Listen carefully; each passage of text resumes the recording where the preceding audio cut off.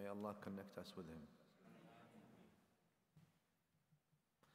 أستغفر الله العظيم الذي لا إله إلا هو الحي القيوم وأتوب إليه توبة عبد ظالم لنفسه لا يملك لنفسه ضرا ولا نفعا ولا موتا ولا حياة ولا نشورا أستغفر الله العظيم الذي لا إله إلا هو الحي القيوم وأتوب إليه أستغفر الله العظيم الذي لا إله إلا هو الحي القيوم وأتوب إليه.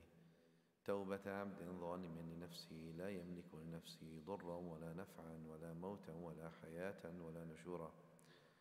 أستغفر الله العظيم الذي لا إله إلا هو الحي القيوم وأتوب إليه.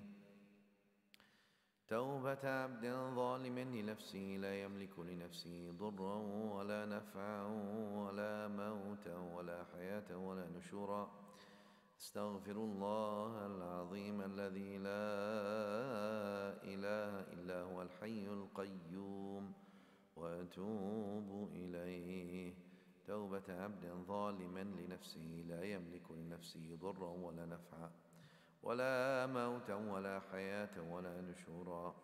اللهم صل على سيدنا محمد وعلى آل سيدنا محمد كما صليت على سيدنا إبراهيم وعلى آل سيدنا إبراهيم. إنك حميد مجيد.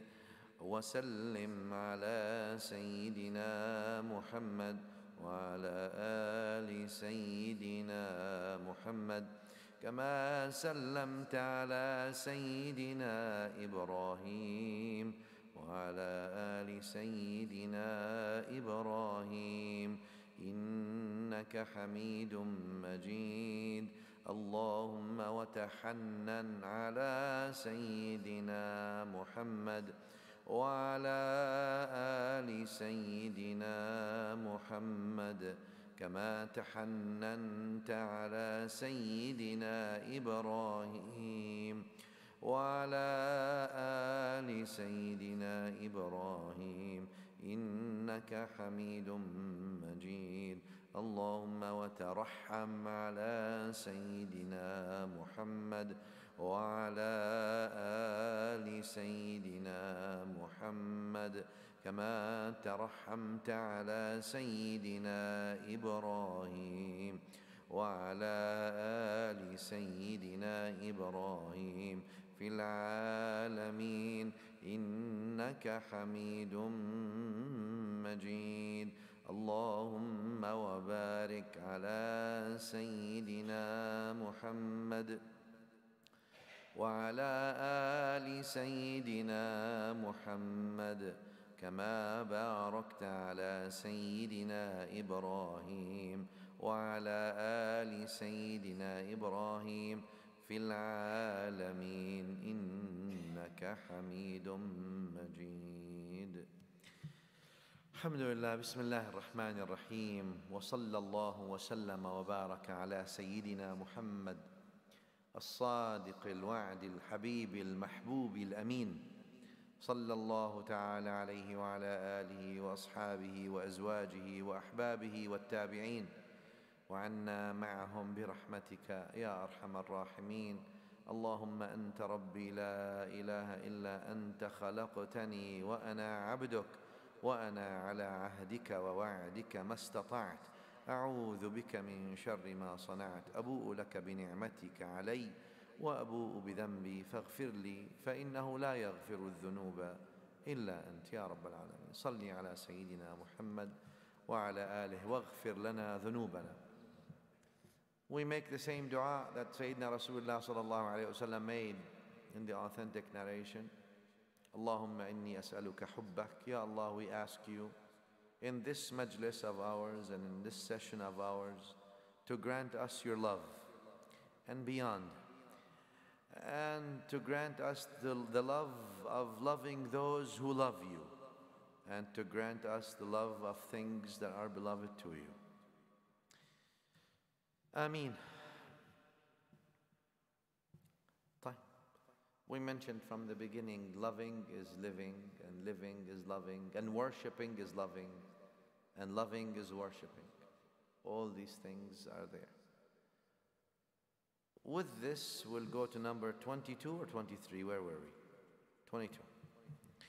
22 قال المصنف رحمه الله تعالى وغفر له A true believer is busy observing Allah's grace and showing gratitude rather than seeking self recognition.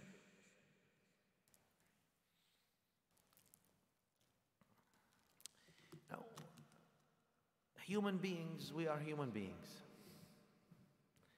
And human beings, in their nature, is to be distinguished. They want to be distinguished. They want to be different. They want to be uh, unique. They aspire for distinguishment. I, I can do this better than you, you can do this better, etc. All these things. And this drives society, in a sense. The path of distinguishment is taken by those who work hard in good and those who work hard in evil, both. And they're both looking for to be distinguished. The criminal who robs and steals is looking to be distinguished through what he's doing. And the one who works hard, the worker who works hard, and the student who's studying hard is also looking to be distinguished. Lakin there's difference between choosing the path of good versus choosing, choosing the path of wrong. The path of wrong. The path of wrong will always end wrong. And the Quran Kareem encourages us to be distinguished. If you want to be distinguished, please. Meaning, Al Quran al Kareem does not want people not to be ambitious, but want to encourage you to be ambitious. Don't let the sky be the limit. Let the sky turn into the sky being the beginning, not the limit. Why should it be the limit? Why shouldn't you be ambitious? I'm not talking about the Prophet ﷺ here in that sense, but look at the Sahaba radiallahu anhum with him. When a Nabi sallallahu alayhi wasallam, I told you yesterday the hadith, where he was sitting in Mecca and there was only few Sahaba at that time who became, who embraced Islam. Few, handful and they're being tortured and they're being uh, punished and they're being killed, some of them. And he tells them, Sallallahu Alaihi Wasallam, there will be a time when you'll be walking all the way from here to Sana'a in Yemen, all the way till the end. The ulama of the seerah mention also something that's not as authentic, like it's known in the books of seerah. When the Nabi sallallahu alayhi wasallam went in the hijrah, and in the hijrah, according to the ulama of the seerah, all that does not have yani, a strong foundation in the hadith. Like it's there, it's corroborated seerah wise. He asked Sayyidina Ali to remain in his, in his bed before he left. He went with Sayyidina Siddiq radiallahu ta'ala an, and allegedly, or what the seerah says, Quraysh sent trace people who can trace sand tracers. They can trace the sand. Huh? In the desert, you can trace the people where, how fresh is the walk, where, all that stuff can be traced. There are people who are experts in that. So they tracked to where he was, sallallahu alayhi. And allegedly one of them, Suraqa or so, caught up with him, sallallahu ta'ala alayhi wa sallam, and again, according to the ulama of Sirah and, and uh, history, the Prophet ﷺ gave him a, a, deal. He says, How about you let leave us, leave us, let, let us go. And I will give you something from the jewelry or from the things, from the jewels of the palace of Kisra and Qaisar. Kisra at that time was the king in Persia, and Qaisar was the king of Rome, Kaiser. You're running away barely in the desert, you have nothing. And you're trying to tell me I, I will give you from the palaces of this king and that king. You don't have anything. But allegedly they say, again, I, you know, the uh, riwayah is not authentic according to me. Like in general, yani, to give us this. He told him, allegedly, Suraqa told him, would you put it in writing? He says, yeah, I put it in writing. Put it in writing. And he left, Suraqa left. Prophet ﷺ and Abu Bakr radiallahu anhu continued going. And this man lived until the time of Sayyidina Umar radiallahu ta'ala anhu. When these things truly came to Umar, and he came, presented the paper, he says, look, I have a paper signed. I, I need you to give me some of the things that you, that you received, uh, the, the booties that you've received from this and this. Islam does not tell you, the point here, Islam does not tell you to be ambitious and work towards that goal of yours. But Islam tells you be distinguished in good things. If you want recognition, recognition in whose eyes? If you try to please the creation to recognize you, you're going to end up with two problems. Number one, competition and envy. You're going to end up in that. Competition. If you don't end up in that, you're going to end up in the law of averages. There's 6 billion, 7 billion people on earth today. How many of them are going to be pleased with you? How many? 100, 300, million, billion? Pleasing the people and seeking their recognition is an endless endeavor. You can never please everybody and seek their recognition. And amongst the things that Sayyidina Abu al-Hasan al-Shadili radiallahu ta'ala anhu used to say, he used to say, min ni'amillahi ta'ala alay, from the ni'mah, from the grace of Allah ta'ala on me, that I am not giving credit for my, for what, for the good that I put in this ummah. The good that he does, people don't give him credit for it. They take it from him they adopt it, they implement it, they attribute it to themselves. He doesn't get the credit for it. He says, This is from the ni'mah of Allah Ta'ala on me.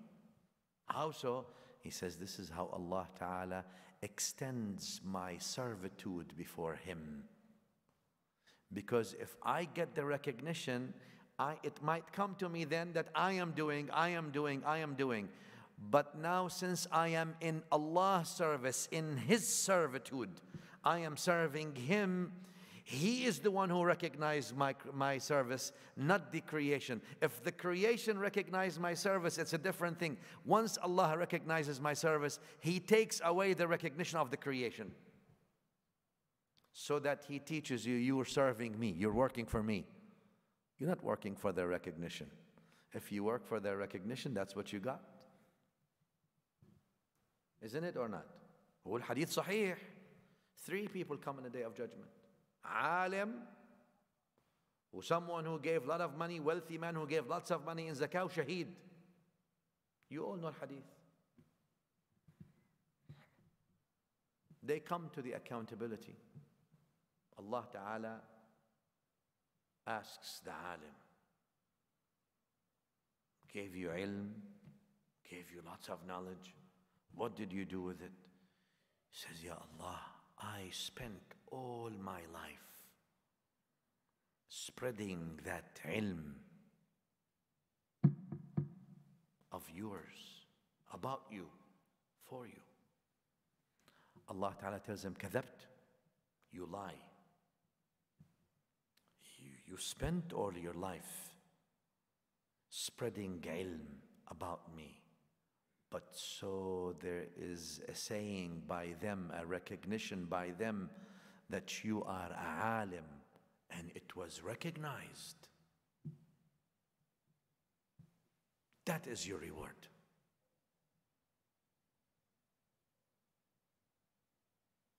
And he's taking to Jahannam.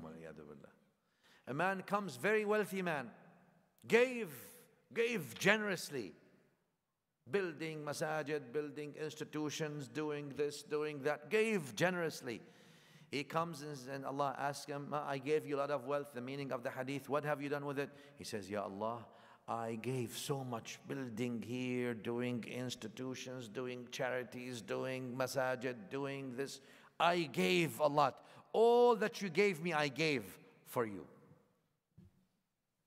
Allah tells him, Kadhabt, you lie. You gave. But so you're recognized as a generous man. And you were. That is your reward. Take him to Jahannam. He gave, he gave, and he built masajid, institutions, or charities. He gave literally. Not that he claimed he gave, he actually gave. That's not someone who claimed he gave. Like in his objection was also recognition, shirk. وأنا أغنى أنا أغنى الشركاء عن الشرك الله تعالى tells us الحديث في الصحيح I am not in need of shirk إن الله طيب لا يقبل إلا طيبا oh, that's what it is ألا لله الدين الخالص Allah accepts only that which is pure Shaheed comes. What else do you want? I mean, okay, you say somebody gave all his money, somebody gave his ilm. Shaheed comes. I gave you life, I gave you opportunity. What did you do? He tells him, Ya Allah, which means, Ya Allah, I gave my life, I sacrificed my life for you. Allah tells him, Kadhabt, you lie. You gave your life, so they say he's brave and willing. And they did. That's your reward. Take him to Jahannam. The problem with seeking recognition, and I understand today's, uh, today's uh, how do I say, the 21st Gregorian century's frame. Uh, you know, I get some people who are close to me also, they tell me, Sheikh, but you, do, you have to recognize the people. You can't not recognize. I feel if I recognize those who work hard, I criticize those who are closest to me most, and I give them the least. I say, Sheikh, but you have to give them more because they're working. I feel if I do, I'll take away, I'll chip away from their reward. But maybe my philosophy is different. I remember the Prophet sallallahu ta'ala alayhi wa sallam in that. في حنين, you all know the Battle of Hunain after the liberation of Mecca, and Nabi al-Akram sallallahu alayhi moved to the liberation of Mecca. It's grand. And there was no violence in it, as you know. Yani, uh, one of the things to show you that Islam is a religion of love and non-violence, fundamentally so, principally so. The liberation of Mecca, where the Prophet ﷺ now came back to Mecca with 10,000 people and more. And to the people who for 23 years almost been killing his companions, confiscated their properties, tortured people, did everything that you can think of. From killing and murdering Sayyidina Yasir, the father of Sayyidina Ammar bin Yasir, and Sumayya radiallahu anha, the mother of, mother of Sayyidina Ammar bin Yasir, up until recently. And now he's coming with power over overwhelming power to Mecca, returning to Mecca with overwhelming power, sallallahu alayhi wa sallam. And he comes and he's surrounding Mecca, the Muslims coming. They're tough criminals who were held out in Mecca. They've tortured people, they've killed people, they've taken the money of people, they've done every single thing that you can think of. He tells them, ما تظنون أني فاعل بكم What do you think I'm going to do? He gathers the people of Mecca. No, the armies are surrounding them. There's no point fighting because you're going to get you're going to die if you fight. There's no safety anymore for those who held out in Mecca for the, uh, the till the last hour. No more. You're surrounded. You're done. He calls upon the leaders of them. What do you think I'm going to do? They say this. قالوا أخ كريم وابن أخ كريم You are a noble brother, and your father was a noble brother. Noble, look at that. Kareem here means noble. You're a man who, have, who has nobility in him. And noble people are, they act differently because their nobility makes them do something that other people don't do. قال اذهبوا فأنتم الطلقاء go you are all pardoned anyway Muslims were happy obviously they went to Mecca and now they can do their pilgrimage they have their religious freedom but not only that do you think the Prophet ﷺ told them you are pardoned only if you become Muslims No condition you are pardoned if you return what you stole to us? No. You are pardoned if you uh, apologize? No. Nobility, you go, you're pardoned. Not only that, they were scared that because they stole and they've done things that people will take their things back from them and that they would not be safe, that people will even, pub, the public will just gather among on them. He tells them, sallallahu alaihi wasallam. Whoever enters al-Masjid al-Haram is safe. Whoever enters his own home, man dakhala baytahu fahuwa amin. He's safe. Everyone is safe. Don't worry. You're safe. Now they move to they move to Hunain. They figured we are, you know, so many. And we were just we liberated Mecca and now what happened in Hunain, obviously, as you know, Hawazin, Ghatafan, the tribes from At-Ta'if gathered so many people against the Prophet ﷺ, everyone who was held out. When Mecca uh, was liberated by Muslims, the people in At-Ta'if, because they still were held out, they viewed now, it's now or never. They need to do everything. So they got uh, tens of thousands of people to come. They rallied them from everywhere. And not only that, what they did is they brought their children and women and cattle with them. And they put them all in the battle, telling their fighters what? This is it. You either kill the Muslims or there will be nothing left for you. Your women, your children are right here in the battle. Anyway, at the beginning, طبعا, it seemed like the Muslims were losing and people were running away from the Prophet ﷺ because these people were really fierce. And uh, it was mayhem at the beginning. So much that Sayyidina al-Abbas, yani Nabi sallallahu remained in the middle of the battle almost alone. Al-Abbas radiallahu anhu, Al-Abbas, the uncle of the Prophet sallallahu alaihi wasallam, had a very loud voice. He is among those who have nice, uh, you know, nice loud voice. And he was, he was, he started calling onto the Sahaba by their names. Oh, so and so, where are you? Come back. Oh, so and so, where are you? Come back. He's calling onto them because people left the Prophet ﷺ. The dust was everywhere, and the Prophet ﷺ was left alone, him and Abbas, wa Ali, wal Fadl, etc. When Nabi ﷺ on his mule saying, أنا النبي لا كذب أنا ابن عبد المطلب. I am the prophet, no lie. I am the son of Abdul Muttalib.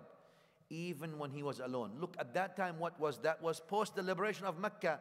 Uh, the celebration were everywhere, and people were almost, uh, you know, so proud of their achievement. And they said, "What? This uh, Hunain is a piece of cake. No problem." Allah Ta'ala taught them a lesson. Anyway, eventually things went the other way and the Muslims won.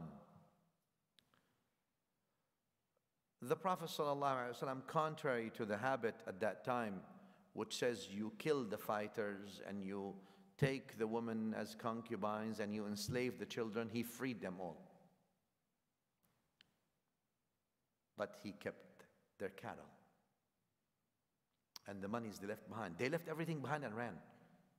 So he took that And with him was the people who were in Mecca, who held out to the last minute, and they were what, what the ulama of hadith and sunnah call al-mu'allafa qulubuhum. Al-mu'allafa qulubuhum, those people, and when they left Mecca, when Mecca was liberated just a little bit ago, they did not really accept Islam in a sense. Or they may, some of them used to say, La ilaha illallah is no problem, but Muhammad Rasulullah is a problem. We don't have a problem believing in Allah, but as far as Muhammad Rasulullah, there's something in the heart from that. Some of them did not say that. Some, their Islam, they were paid uh, that the Prophet ﷺ gave them eventually the booties. He took the booties, he gave them. So and so take 100 camels, so and so take 100 camels. So 100 camels is a lot of money. Today is a lot of money. Somebody gives you 100 camels, you're a millionaire. You don't need anything, they're done. How much is a camel, Mulana Sheikh Majid Murad? Rands. 10, 15,000 riyals in the old days. Yeah. So you, are it's a lot of money. He gave them 100, 200 to these people who were, their Islam was, mm, and then Al-Ansar radiallahu anhum came. Al-Ansar, I mean, you know, they gave their homes and land and wealth, they split it with the believers. They, I mean, they opened their, they, and they swore to protect the Prophet ﷺ and uphold. They pledged to him, they gave bay'ah to him that they would die before him. And they delivered. They delivered on their oath all the way. Some of them felt that, I mean, we've been protecting him and gave him and opened for him and all this, all this. Now, when he gets a lot of money or booties, he gives it to these people who are not even Muslims and they never fought. If any, they've been fighting us all along, we've been fighting them. So they, there was this talk. So the Prophet ﷺ brought them.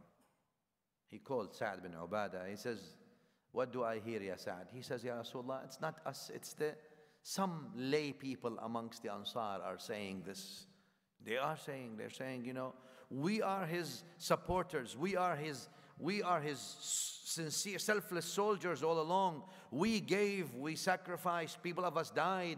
You know, we, we shed our own blood, we gave our wealth, we gave our time, we gave this, and now you give to the others. There's something in our hearts, Ya Rasulullah. And Nabi sallallahu alayhi wa sallam told them, he says, say,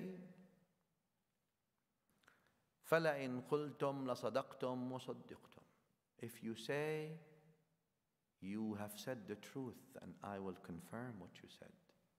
Weren't you alone and we sponsored you?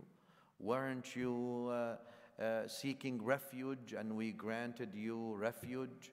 Weren't you this and we gave you this? He said, Yeah. If you said this, yeah, you say it. Say it. Nabi Sallallahu is telling Ansar, say it, say it, it's okay. You, if you say it, you've said the truth. And I would tell you that you said the truth. Then he tells them, Ya Ma'shar al Ansar. O people of the Ansar. Weren't you ضالين? Weren't you misguided? فهداكم الله بي.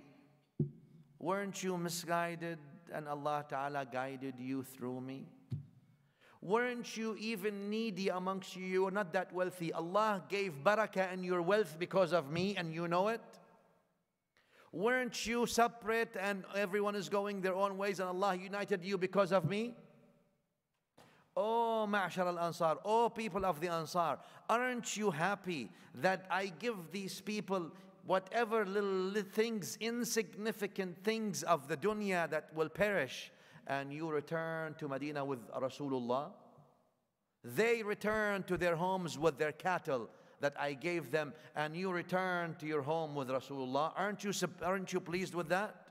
And he kept telling them these things until Al Ansar, the whole camp of the Ansar was buzzing with weeping and crying of the Ansar radiallahu ta'ala. Radina ya Rasulullah, radina. Qabilna, they said, Ya Rasulullah, we we, are, we are pleased with that. And he reminded them, sallallahu alayhi wa I get goosebumps every time I say this.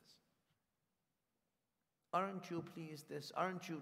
Didn't Allah give you this because of me? Didn't Allah, because I gave you this? Didn't Allah give barakah in your life? Didn't Allah give barakah in your husband? Didn't Allah, all this one, two, three, uh, where were you? That you're looking at. Lu'a'a min dunya he tells them, I gave them insignificant, perishable thing in the dunya. And they go home with it. They go home with their little dunya that they think they got. And you go home with Rasulullah. He's trying to open their minds. Self recognition. He's trying to tell them that recognition is not by recognition of the dunya. Recognition of the dunya doesn't go anywhere, it stays in the dunya. But the recognition of the akhirah is the recognition that goes with you. The recognition of the akhirah is the one that matters. And therefore, a true believer is busy observing Allah's grace and showing gratitude to Him, subhanahu wa ta'ala. Rather than seeking self recognition, you'll always find these two tracks those who seek self recognition and those who are busy seeking or observing, sorry, observing Allah's grace because Allah's grace exists already. You just need to observe it. Like the Ansar radiallahu anhum, they at that moment they did not see it, but Allah's grace was with them that Allah Ta'ala kept His own Rasul Sallallahu Alaihi Wasallam among them, and He is the reason for their guidance, and He is the reason for this. And look at that, until today, 1400 years after the fact, whenever we mention the Ansar, we say, May Allah be well pleased with the Ansar. Oh, what, what people love them, you all love them, we all love the Ansar. We haven't even seen any of them. We've only heard of their names, but we don't know them, but we love them. Look how Allah put the love of the Ansar thousands of years after them, thousand years people still have so much love in them to them towards them so much appreciation for them so much uh, uh, glory and awe in our hearts towards them that's that's no money in the world would be worth that. No money no way can ever be can ever measure that. And nabi sallallahu alaihi wasallam is trying to show them that seeking self recognition by the dunya recognition. Dunya recognition doesn't, there's no point. The point is that you keep or you're busy observing Allah's grace and showing Him gratitude, subhanahu wa ta'ala. Showing Him gratitude, subhanahu wa ta'ala. You can never please people. I always say this. I mean, the, you all know the story of Luqman, allegedly, right? He's teaching his son whose pleasure you should be seeking. So he got out of the village and rode on his donkey. And this young son, the teenage son, told him, You pull the donkey, and I sit on the donkey, the old man. And the young the teenage son is pulling the donkey and going from one village to another. As soon as Luqman and his son pull into the next village, people in the next village gather. They say, to look at this old man, he, he has no rahmah in his heart anymore. He's leaving his young son walk while he's sitting comfortably on the, on the donkey. What happened to the fathers have rahmah on their children? What happened? The fathers sacrifice for their children. What happened to all these old values? La hawla wa la The sign of Qiyamah is already coming. Day of judgment is coming. That's what. And at that time, he says, okay, now we switch. So now the kid is sitting on the donkey, and Luqman is pulling the donkey, the mule, from the rope. And they go on. Next village, they come, they walk into the village. people of the village gathered. Those, you know, usually the people who don't do anything in around the village. They look at the, there's no more akhlaq in this world. There's no more tarbiyah. Look at this fresh kid. He's sitting on the donkey and his old man is walking. There's no respect anymore. There is no, uh, all these values, all the akhlaq, all the ethics, all the morals are gone. Uh, the qiyamah is coming already. Now, he says, you know, let's both get on a donkey. So they both get on a donkey. And they are going on a donkey, the old man and his son, until they pull to the next village. People gather billah. Ya akhi, you don't know the donkey also has a, has a ruh. This is a nafs. Yani, you cannot abuse this just because Allah created it for you and made it not speak. Doesn't mean that you can abuse it. Both of you sitting on it like this. Give it, ya akhi, a break. Haram. You don't fear Allah. You don't have any taqwa. You don't have anything. You know, Dhulm. They both get off the donkey. He says, okay, both of us now walk next to the donkey. They both now pull the rope and they dunk, nobody's on a donkey. Soon as they pull to the next village, people gather around and they start laughing. you people are crazy. You don't know Allah created donkey so you can ride it, not you walk next to it. It's for riding. خلق لكم البغال والحمير لتركبوها he created for you the mules and the donkeys so you can ride them. Now no, you can walk next to them. You people are crazy. Seeking the recognition of people is a long story. Long story. Long story. What should we do? Not care about people? No, care. Seek Allah's recognition or observe Allah's grace and show gratitude towards Him and be kind unto people. Be kind unto people, regardless what they do. Be kind unto them. Seeking their recognition, that's what sends people into depression today. You know how much I hear, Sheikh. I can't believe she said that to me. We've been friends for 10 years. I couldn't believe. I went into depression after she said that. Because you are basing all your life based on her perception of you. And people today, that's what they do. Everything is based on other. The way they dress is not because what they like, what others. Pers- oh, if I look, if I buy this, oh, they're gonna like it. Are you gonna like it or not? I mean, what's the point? They dress for other people. They eat for other people. They live in a home that other people like. They ride a car that other people like. Everything about other people, and therefore they forget themselves in the process. And they forget Allah subhanahu wa ta'ala. So they live for others. A true believer doesn't live for others. A true believer is busy observing Allah's grace and showing gratitude towards Him. Rather than seeking self recognition. Sometimes the best deeds you may do are those deeds who nobody knows, you and Allah only. Nobody knows. Nobody knows. Oh, ad'a ikhlas. There's much more ikhlas in that. It's much more pure from ostentation and show off. Nobody knows. You remember the hadith? وَرَجُلٌ And a man who gave in his right hand that which his left hand doesn't know. Your left hand doesn't know what your right hand gave. Huh? That's someone, not other people don't know what he gave.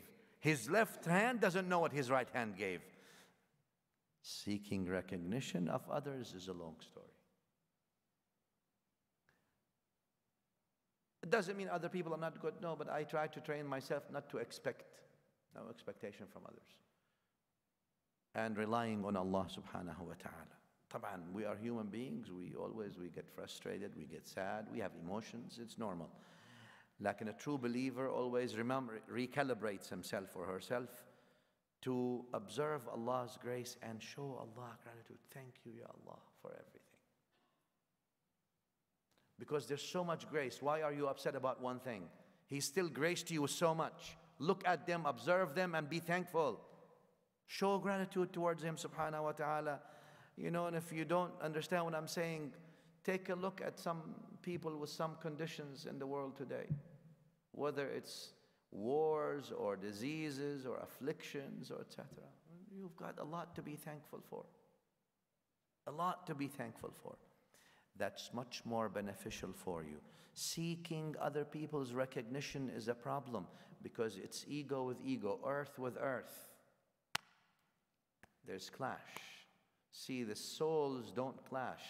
They may go through each other, no problem, and come out. But the bodies clash because they're soil.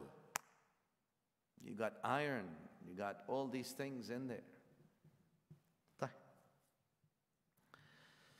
Allah, Allah. Number 23. If you have not witnessed him, you are drowning in witnessing the creation. If you have not yet witnessed him, that's a sign. You've been, you are drowning in witnessing the creation. Take time. Take time out. Check your salah. Your salah is a platform. Your salah is an avenue. Check your mu'amalat. What do you mean your mu'amalat? With your family, with your spouse, with your children. Observe Him subhanahu wa ta'ala. You're doing this, you're being a good father or a good mother while observing Allah subhanahu wa ta'ala. You're witnessing Allah subhanahu wa ta'ala and what you do with your family. You're witnessing Allah subhanahu wa ta'ala and how you do with your work. You're witnessing Allah subhanahu wa ta'ala in what you do in, in life. If you haven't witnessed Him, you're drowning in witnessing the creation. Drowning. It's not even, it's not, it's not even giving, leave, letting you have a, a breath. It's just covering you entirely. And it's time to have these moments where you and Allah subhanahu these moments are the moments that last. These moments are the moments that stay.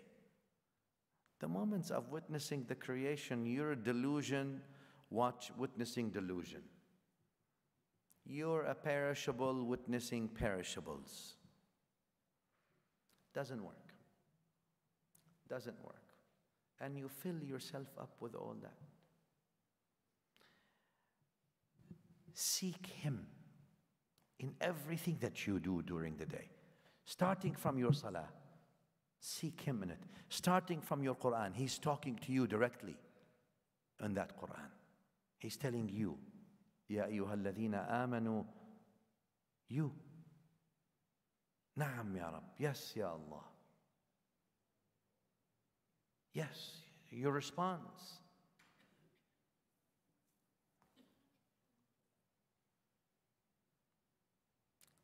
drowning doesn't last because drowning eventually leads to death so drowning is just the beginning but the point is that, that drowning may stay all your life, and you don't want to go to losing all the time in life. Don't drown. Seek help. SOS.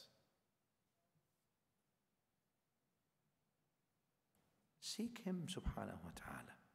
Get out, out of that water. Put your head up. Ya Allah. Ya Allah. In your salah, call unto Him. Subhana Rabbi al Azim. Ya Allah, I am seeking you. Iyaka na'bud wa iyaka. Ya Allah, I am seeking you. I am worshiping you. Put that shaitan down. Put all these things, all these distractions down. Try to witness Him, subhanahu wa ta'ala. Observe that He's observing you. That's what I mean by witnessing. So that the creation does not drown you. Wallahi, all this glitter that we have, and we're so mesmerized by, because we're human beings, we're mesmerized by the soil and whatever the soil is, right?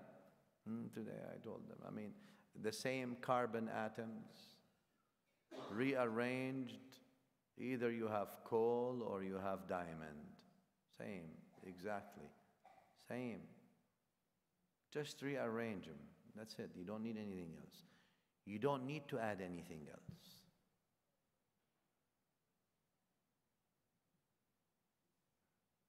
They're all the same. The essence is the same.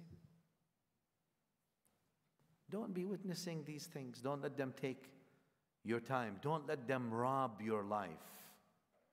Don't let the creation rob you from your life. Because your life is a number of days, it's time. It's timed. Don't let it rob, don't let the creation rob you from that life. Enjoy life. Allah gave you that life to enjoy it, to live it with love. Love Allah, love the creation. That's the message. Love God, love His creation. That's the message. Love the Creator, love His creation. That's the message. But don't lend everything and give your most precious thing, time, to the creation. Witnessing the creation and being in absolute heedlessness from the Creator. The creation is going to perish and is not going to worry about what you witnessed. That perception will perish also with it. My father, rahimahullah, used to always say, Allah have mercy on all your family who passed away or still alive. He used to say, Be careful, son, from those who rob people of their money. They're thieves. But bigger thieves are those who rob people of their time. Those are bigger thieves because money is replaceable, time isn't. والوقت أثمن ما عنيت بحفظه وأراه أسهل ما عليك يضيع Time is the most precious thing Allah gave you. And there are some people who not only just they get robbed from time, they get robbed their iman. Their iman gets robbed. So if you haven't tried to witness him, if you haven't witnessed him yet, it's a sign you're drowning in witnessing the creation. So seek help, get out, get out there. Put your head up and say, Ya Allah, إياك نعبد وإياك نستعين يا مالك يوم الدين إياك نعبد وإياك نستعين Ya Allah, I need your help. Seek His help, He'll give you help, subhanahu wa ta'ala. You'll breathe, and little by little you can get out. If you have not yet witnessed Him, you are drowning in witnessing the creation. Don't drown, my beloved, don't drown. His love out there will take you, regardless how long you've been drowning. There is no shortage of love out there from Allah Ta'ala. And there's no shortage of forgiveness by Allah Ta'ala. It's there. No matter what you did, no matter how long you of a sinner, how much of a sinner you have been, no matter who you are, there's always a door that's open for you. The door of rahmah is open for you. The door of mercy, the door of forgiveness, the door of love is unconditionally open for you. Just seek it. Seek His love, subhanahu wa ta'ala. Barakallah But important to diagnose that. Make sure that you, where are you? Have you witnessed Him yet? Sometimes, okay, sometimes you've witnessed His closeness, you've experienced that He's observing you, subhanahu wa ta'ala, that you're in His presence. Great, build on that. Increase that. Bring more this happiness to your life, that serenity to your life, that solace to your life. Have those moments with Allah subhanahu wa ta'ala when you're talking to Him.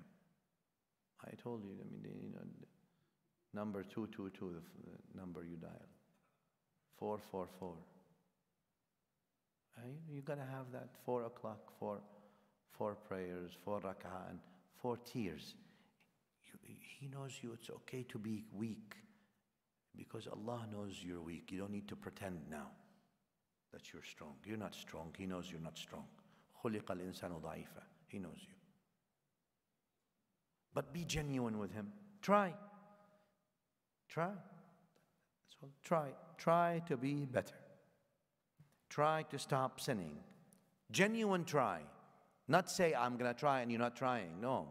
You got to bring yourself to say, genuinely, I am not going to do this. I'm going to try all I can. And if you fall again, you try genuinely again. If you haven't yet witnessed Him, you're drowning in witnessing His creation. But that's also reversibly correct, meaning what? If you're drowning in witnessing the creation, you're not going to be witnessing Him. The creation is all over. I mean, how can you witness Him? The reverse is also correct. If you are witnessing the creation, you're not going to be witnessing Him. Doesn't happen. You've got to, that's what they said, takhalli and tahalli. You've got to detach to be attached. Attached. Detachment, then attachment. Detachment, then attachment.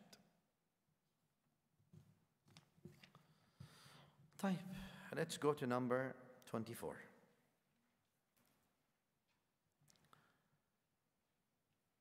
Number 24 the author, Allah Ta'ala forgive him, said,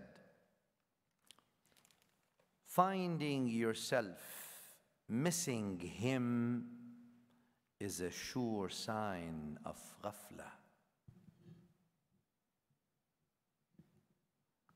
Finding yourself, if you find yourself that you miss Allah, that's a certain sign of heedlessness finding yourself missing Him is a sure sign of heedlessness from Him. Ghafla. For only the absentee misses. How can you miss Him if He's present with you? You have been distanced, that's why you miss. Therefore, finding yourself missing Him is a sign that you've been distanced from Him.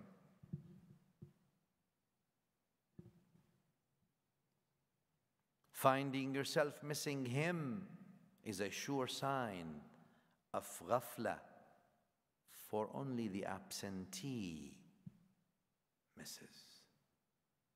The one in ghafla, the heedless, misses.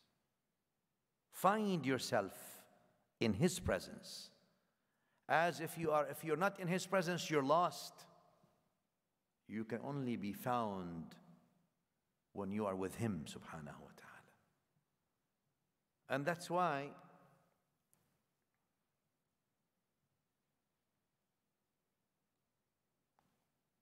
it's attributed, Ibn Asakir and others attribute without an authentic sanad to Sayyidina Imam Hussein radiallahu ta'ala an, that he's saying, that he says,